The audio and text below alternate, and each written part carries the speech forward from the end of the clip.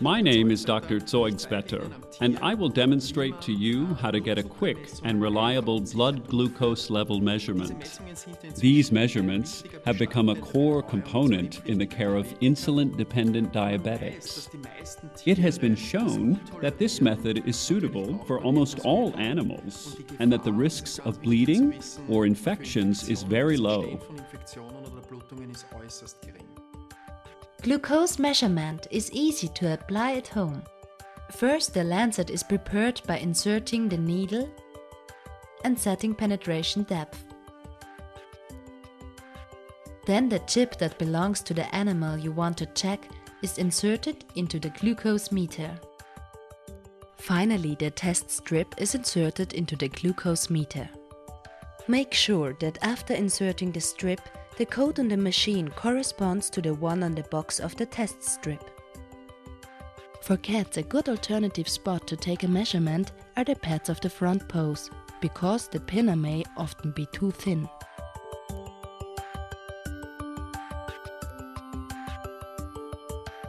The ideal blood glucose level in cats is between 80 and 150 mg per deciliter, but levels of up to 300 mg per deciliter are acceptable. It is imperative to use a glucose meter that has been validated for the species you are testing. Glucose meters for human use would produce too low or erroneous measurements. First massage the ear to enhance circulation. Then prick the ear with the lancet. If the blood drop is too small, it is advisable to squeeze the ear gently. You'll find out which spot is most comfortable for your animal pretty quickly. The most suitable locations for blood glucose measurement are the ears and the pads. With dogs you can also use the flews.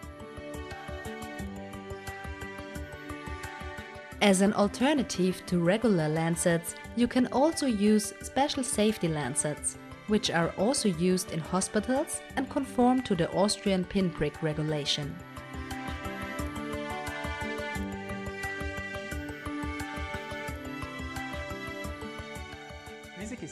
As you have seen, the blood glucose measurement in cats and dogs